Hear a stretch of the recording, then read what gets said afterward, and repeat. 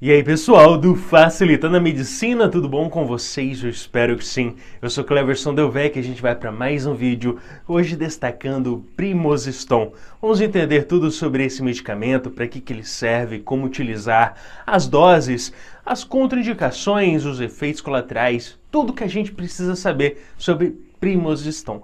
Eu convido você a participar aqui da nossa comunidade, que é muito simples, só clicar nesse botãozinho vermelhinho escrito inscrever-se embaixo do vídeo. Clicou ali, você já faz parte aqui. É de graça, se inscreve e vamos ao que interessa. Hoje, Primosiston, o que, que a gente fala sobre ele? Primeiro, a composição desse medicamento. Bom, quando a gente vai numa farmácia, encontramos esse Primosiston, nós vamos ver em sua composição 2 miligramas de norestiterona. É, esse nome mesmo, noretiterona. Esse nome diferentão tem 2 miligramas compondo esse primosiston. E tem um outro nome ainda, que é 0,01 miligramas de etinilestradiol. Isso, etinilestradiol, esse outro nome diferentão. Então, esses dois componentes, sendo em 2 miligramas e o outro em 0,01 miligramas, compõem o primosiston. Agora, você se pergunta, entendi, tem esses nomes diferentes aí, é o Primosiston, beleza, mas para que, que eu uso o Primosiston? Para que, que ele é indicado? Ele é indicado, pessoal, em casos de sangramento uterino. Ou seja, quando existe um sangramento uterino que é disfuncional, né, é um distúrbio, algo anormal ou também quando existe né, uma desregulação da menstruação. Aquela mulher que fica por dias ali menstruando. Né? Então, ele é indicado em sangramento uterino é, de forma ali é, anômala ou pela desregulação da sua menstruação. Então, nesses casos, é indicado o primosiston. Aí você se pergunta, mas como que esse primosiston vai ajudar em um quadro de sangramento uterino. O né? que, que ele faz que vai ajudar? É simples, pessoal. Primeiro que ele atua evitando a ovulação, ou seja, ele vai evitar que aconteça o processo da reprodução feminina, né? Porque ele evita a liberação do gameta, que é o óvulo, né? Então, aquele processo de ovulação vai ser interrompido. E se ele acaba influenciando sobre a ovulação, claramente ele influencia sobre os hormônios femininos. E se ele influencia sobre os hormônios femininos, ele também vai, de certa forma, influenciar sobre o processo da menstruação. Se você não sabe, na mulher, na sua anatomia, na camada mais né, íntima do útero, nós temos o endométrio. E esse endométrio, todos os meses no ciclo da mulher, ele acaba descamando e sai na forma de menstruação, né, que a gente conhece por eliminação daquele sangue.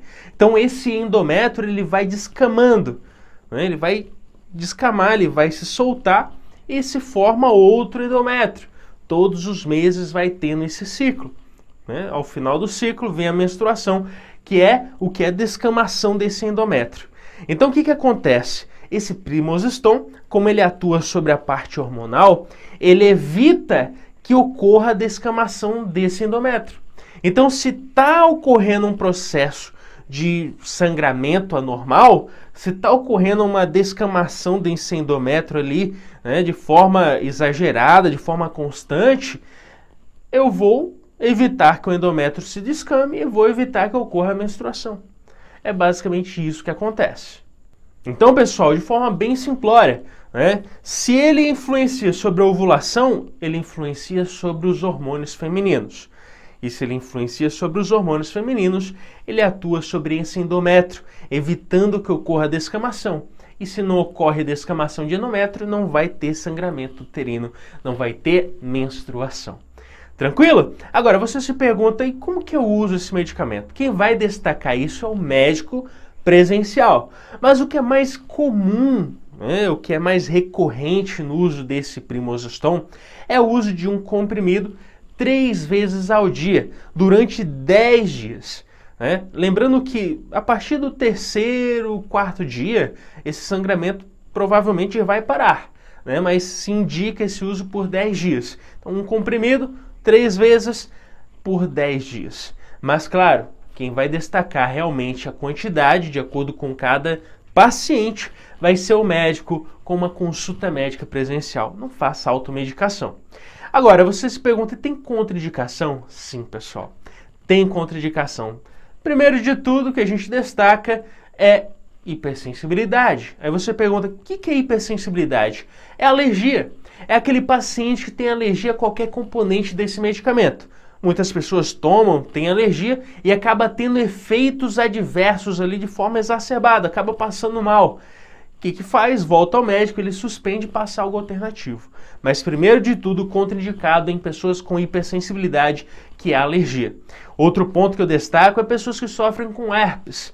Também destaco as pessoas com insuficiência hepática e renal. Aí você fala, o que, que é isso?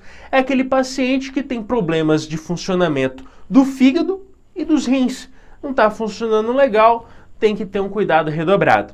E ainda destaco as gestantes e lactantes. E aqui não só para o primosistom, mas qualquer uso de medicamento. Por quê? Porque gestante, óbvio, tem um indivíduo sendo formado ali. Então tem que ter um cuidado, né? não posso interferir naquele processo de formação.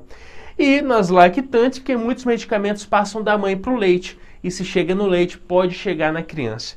Então tem que ter um cuidado. E óbvio, se esse medicamento influencia sobre os hormônios femininos, obviamente isso daí vai gerar algum problema, ainda mais numa gestante e numa lactante. Né? Então sempre tem que ter um cuidado redobrado no uso de qualquer medicamento para uma grávida e para quem amamenta. Agora, e os efeitos colaterais? Vamos dar uma olhadinha. Bom, pessoal, lembrando que muita gente vai tomar esse medicamento só vai ter os benefícios. Né? Vai ajudar ali naquele sangramento uterino, naquela menstruação desregulada, vai ter o benefício da ajuda. Outros vão ter o benefício, mas também vão ter os efeitos colaterais, que são aqueles que a gente nunca deseja né? e acaba passando mal por isso. E quais seriam esses efeitos colaterais? Lembrando, é uma minoria que passa por isso. Lembre-se disso. Eita, é uma redundância, mas enfim, vamos lá. Quais seriam?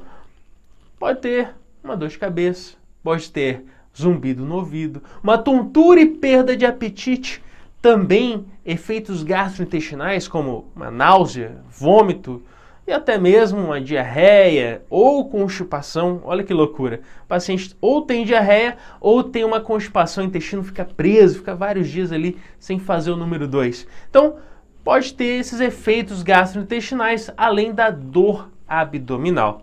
Mas como eu falei, não é todo mundo que vai ter esses efeitos colaterais, uma parcela. Outros apenas tomam o Primosiston e só têm os benefícios. Lembrando, nunca faça, em hipótese alguma, uso de qualquer comprimido, qualquer medicamento por conta própria.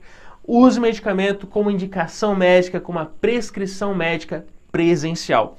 Com isso, finalizamos mais um vídeo. Espero ter te ajudado. Se inscreve no canal e até o próximo vídeo. Valeu!